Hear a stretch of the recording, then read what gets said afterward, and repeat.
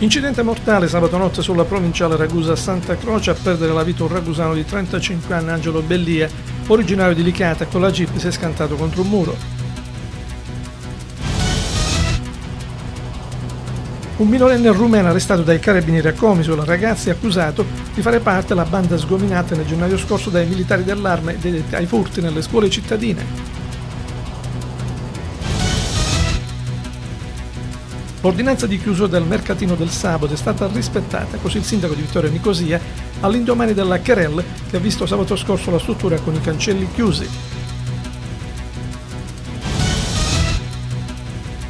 Allarme randagismo a Vittorio Scoglietta rilanciare l'allarme stavolta il Movimento 5 Stelle, che gradirebbe una città più sicura e cittadini e turisti liberi di poter passeggiare senza preoccupazioni. Ancora una domenica di protesta, la terza consecutiva per i residenti di Passo Marinare e Branco Piccolo. Al centro della contestazione, come sempre, le condizioni in cui versano le due aree.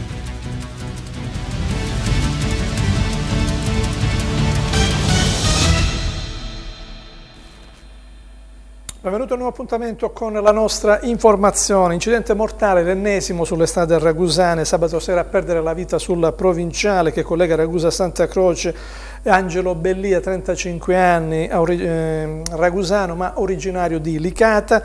Eh, l'uomo che viaggiava sulla sua jeep ha perso il controllo del mezzo dopo una curva e si è scantato contro il muro di un'abitazione. Ancora sangue sulle strade di Ble, a perdere la vita sabato notte Angelo Bellia, 35 anni, nato a Licata ma da qualche tempo residente a Ragusa, dove lavorava. L'uomo viaggiava sulla sua jeep lungo la provinciale 60, la Ragusa Santa Croce, in direzione Santa Croce, quando all'altezza di contrada Mendolilli, nell'affrontare una curva a sinistra è finito fuori strada, andandosi a schiantare contro il muro di cinta di un'abitazione. A chiamare il 118 alcuni automobilisti di passaggio ed i residenti della zona. I soccorsi però si sono rilevati inutili e il medico a bordo dell'ambulanza non ha ha potuto far altro che constatare il decesso dell'automobilista, causato da un gravissimo trauma toracico. I rilievi sono stati effettuati dalla Polstrada che deve accertare l'esatta dinamica dell'incidente mortale autonomo. Resta da capire infatti se mentre stava facendo rientro a casa l'uomo sia stato vittima di un malore o di un colpo di sonno fatale oppure se si sia trattato di un guasto meccanico del veicolo che come da prassi in casi del genere è stato posto sotto sequestro. Al momento comunque nessuna ipotesi è stata esclusa, sul posto anche i vigili del fuoco di Ragusa. Bellia, che abitava a pochi metri dopo il luogo dell'impatto, lascia la moglie e il figlio di due anni. Furti nelle scuole a Comiso, un giovane romeno minorenne è stato arrestato dai carabinieri in esecuzione di un provvedimento cautelare messo al tribunale per i minorenni di Catania. Il ragazzo è accusato di fare parte appunto della banda sgominata nel gennaio scorso e dedita a questi furti. I militari della stazione di Comiso hanno eseguito sabato pomeriggio un provvedimento di custodia cautelare emesso dal Tribunale per i minorenni di Catania nei confronti di un cittadino romeno minorenne. Per l'accusa, il giovane responsabile, insieme ad altri componenti di una banda, di una serie di furti avvenuti a Comiso tra l'ottobre 2014 e il gennaio scorso.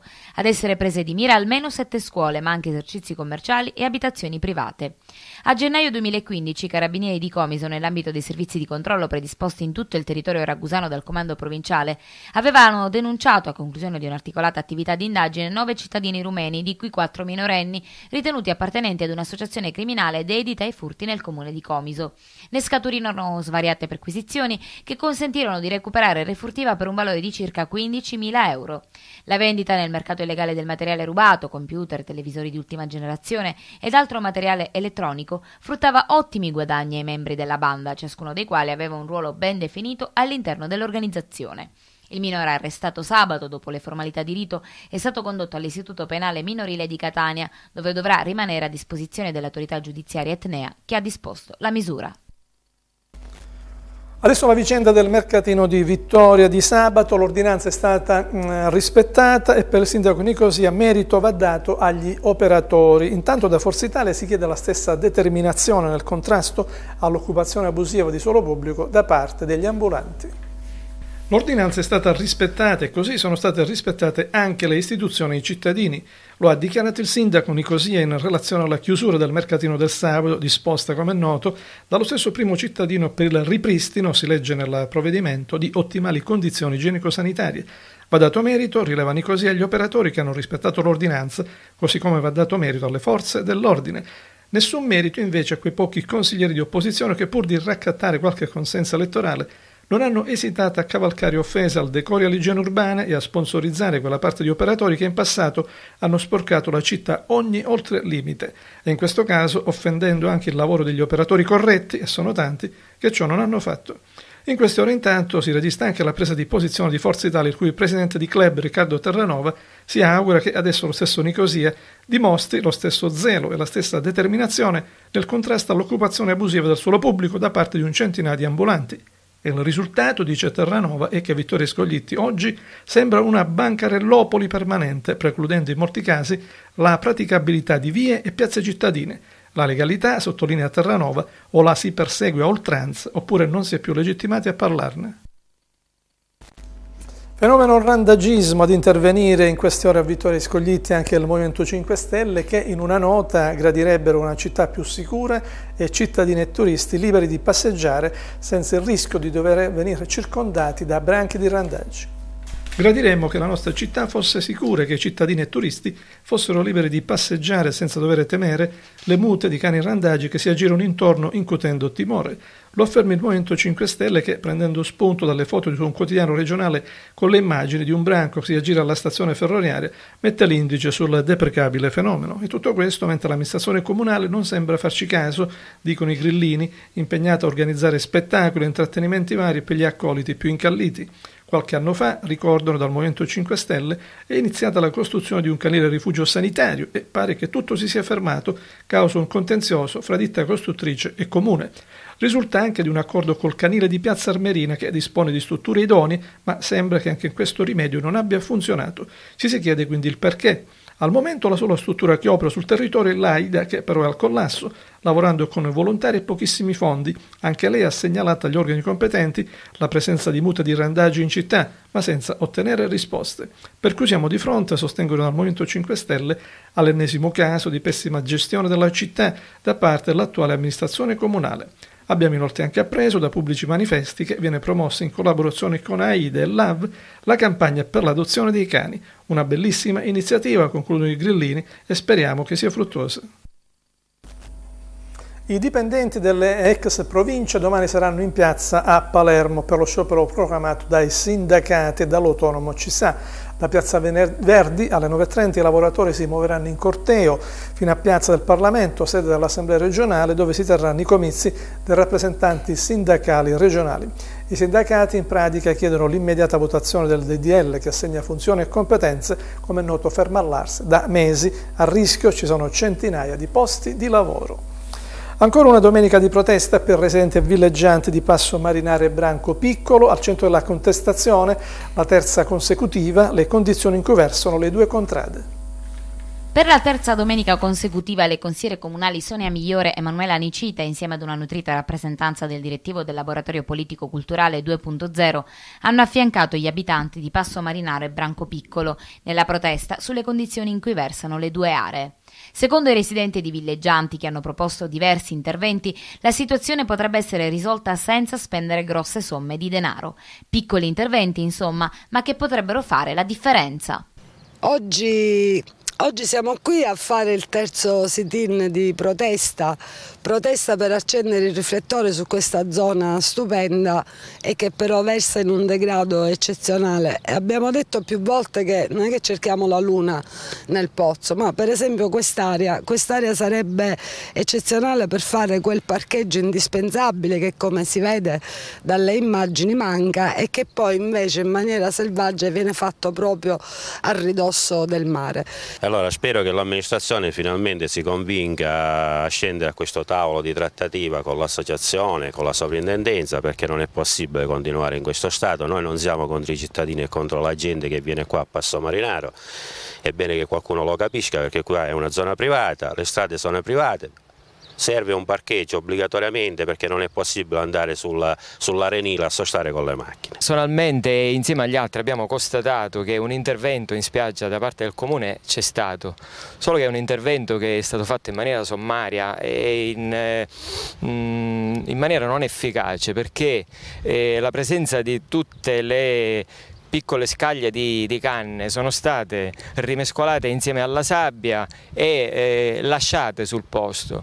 Non è stato fatto l'intervento che si sarebbe dovuto fare, cioè dire quello di andare in maniera peculiare, in maniera eh, precisa, andare a rimuovere fisicamente questi piccoli eh, oggetti che sono fra l'altro pericolosi per chi fruisce della spiaggia.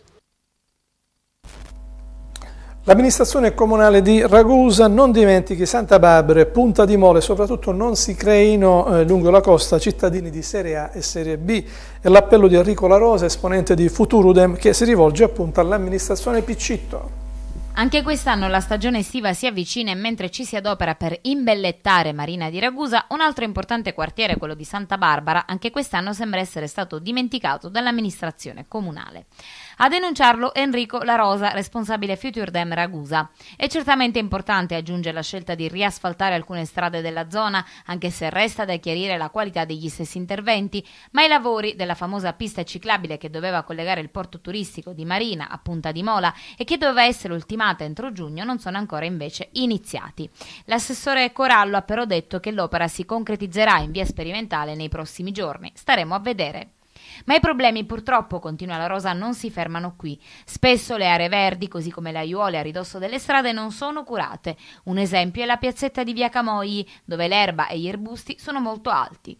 Inoltre anche la piccola spiaggia di Santa Barbara non è stata sistemata, ma anzi si è creata una zona pericolosa e sporca, addirittura a rischio frana. A tal proposito, il 27 marzo scorso l'amministrazione aveva predisposto uno studio specialistico della costa. Sono stati fatti questi studi? si chiede la Rosa. E cosa hanno riscontrato? Quali le soluzioni? I problemi dunque non mancano, sottolinea, ma giugno è già agli sgoccioli. Auspichiamo che l'amministrazione comunale si adoperi con determinazione per intervenire e offrire risposte concrete a questi cittadini che ovviamente pagano le tasse come tutti gli altri, ma che poi ingiustamente si ritrovano a dover fare i conti con servizi di scarsa qualità. Il raddoppio della Ragusa Catania sarà realizzato in brevissimo tempo, lo ha annunciato ieri nella sua visita proprio a Catania il Ministro delle Infrastrutture Graziano Del Rio. L'autostrada verrà completata in tempi brevissimi, ha affermato Del Rio, e non c'è alcun problema legato all'ANAS, come affermato giorni fa dal governatore Crocetta. A frenare l'iter ci sarebbero comunque approfondimenti di carattere burocratico richiesti dal Ministero dell'Economia che però secondo Del Rio non dovrebbero dilungarsi troppo, quindi massima fiducia, ha detto il Ministro a Catania, perché a breve ci saranno importanti novità, novità soprattutto positive. Presentato stamane al Municipio di Vittoria lo spot di promozione turistica del territorio di Vittoria Scoglitti che da ieri è in onda sulle reti RAI e dal titolo Vittoria da gustare tutta d'un fiato. Si è svolta stamattina a Palazzo Iacono la conferenza stampa di presentazione della campagna pubblicitaria di promozione turistica del territorio di Vittoria e Scoglitti, programmata sui canali RAI già da ieri. A partecipare all'incontro con la stampa il sindaco Giuseppe Nicosia, l'assessore allo sviluppo economico Lisa Pisani, il direttore di Enjoy Life Elio Palazzolo, il presidente di Soaco Rosario Di Bennardo e il regista dello spot Andrea Traina.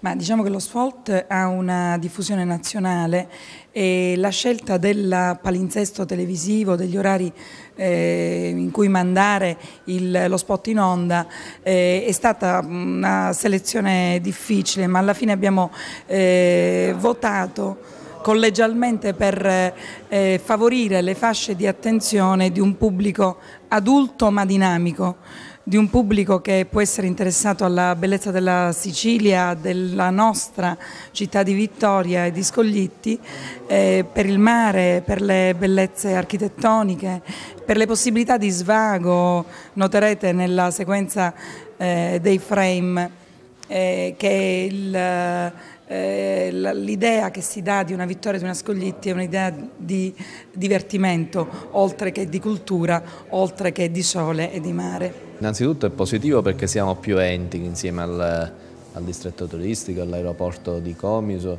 eh, si, si, lavora in sinergia con diverse eh, realtà istituzionali e poi perché penso che sia la prima volta che un messaggio pubblicitario, uno spot promozionale passi sulle reti televisive nazionali con eh, la città di Vittoria. Quello che abbiamo cercato di ottenere con questo spot era una rappresentazione di Vittoria in qualche modo magica che possa attirare appunto possibili turisti in questa città. E il tutto è stato fatto cercando di evitare il più possibile qualunque genere di cliché sulla sicilianità e sulla Sicilia.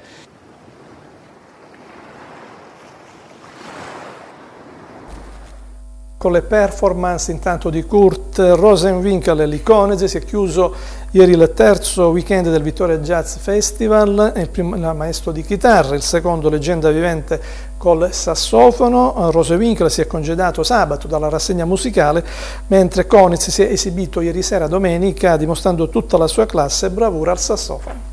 Due grandi del jazz mondiale per chiudere la terza settimana del Vittoria Jazz Festival. Con un grazie Vittoria in un italiano apprezzabile, Kurt Rosenwinkel si è infatti concedato sabato sera dal pubblico del festival dopo un applauditissimo bis, frutto di una sola la chitarra.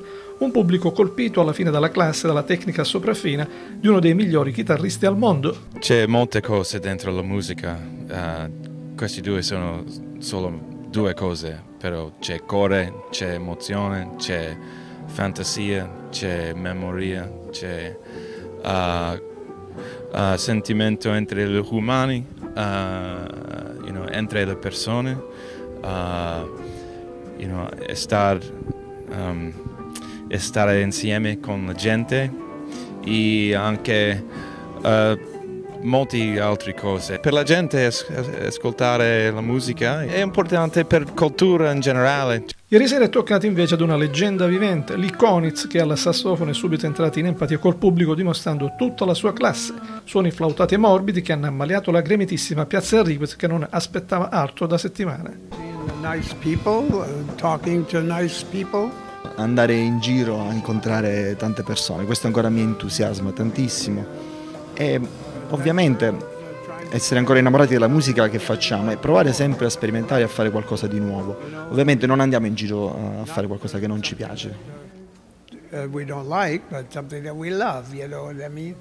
Because he was very busy Cerco sempre di distanziarmi dagli artisti che mettono in scena un mero tecnicismo basandosi sulla velocità d'esecuzione. Per me il jazz resta una musica che fa dell'improvvisazione e dell'espressione estemporanea il suo punto di forza. That's not music.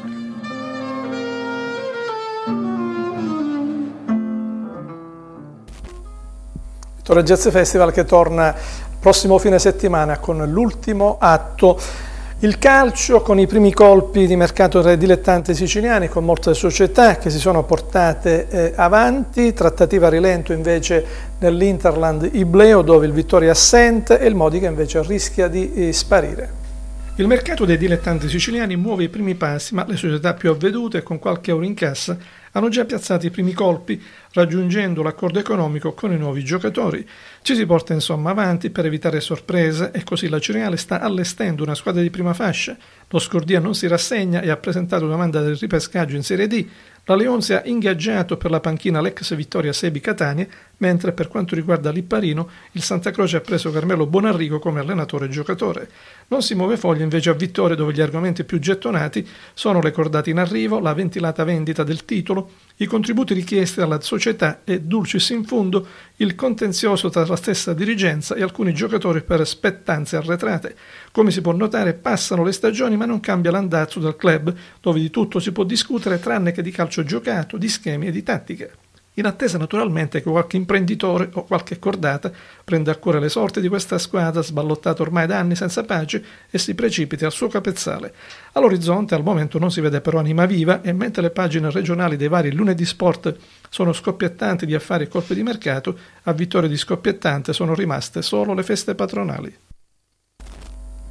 Volle femminile, promozione strameritata per l'annunziata Volli Chiaramonte che approda in Serie C, 18 vittorie su 20 partite, l'invidiabile eh, ruolino di marcia della squadra allenata da Saro Corallo che si è aggiudicata il pass promozione grazie ad una stagione saltante con due sole sconfitte appunto subite fuori casa. E dopo aver rinunciato l'anno scorso alla promozione come migliori terze e aver rifondato la società grazie a Rosanna Paravizzini le atlete dell'annunziata Chiaramonte hanno centrato l'obiettivo promozione convinte questa volta di poter disputare il campionato di Serie C. Un premio questo per delle atlete come hanno rimarcato in società attaccate alla maglia siamo a riepilogo dei fatti in eh, primo piano.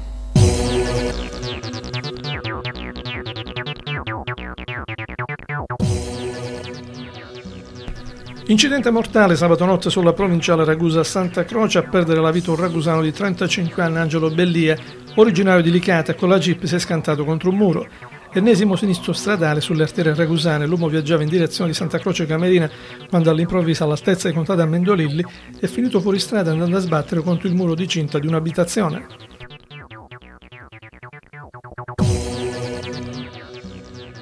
Un minorenne rumeno arrestato dai carabinieri a Comiso, il ragazzo è accusato di fare parte della banda sgominata nel gennaio scorso dai militari dell'arme dedetti ai furti nelle scuole cittadine. Ad essere presa di mira dalla banda ben sette scuole, i carabinieri hanno recuperato la refurtiva per un valore di circa 15.000 euro. Si tratta di computer, televisori di ultima generazione e svariato materiale elettronico.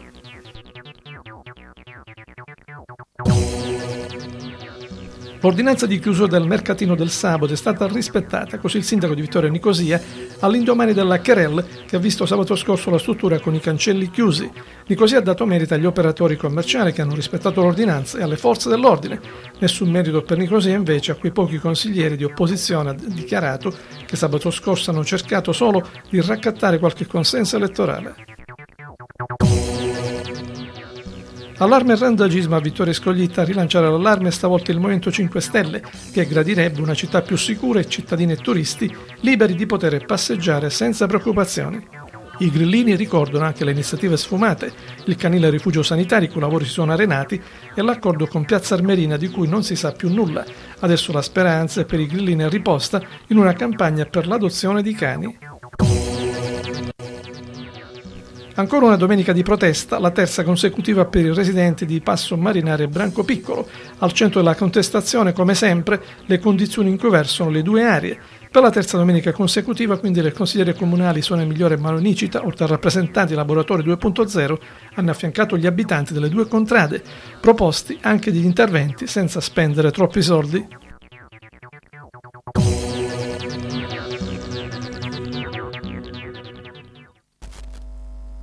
Ed è tutto, grazie per l'attenzione, appuntamento alle prossime edizioni.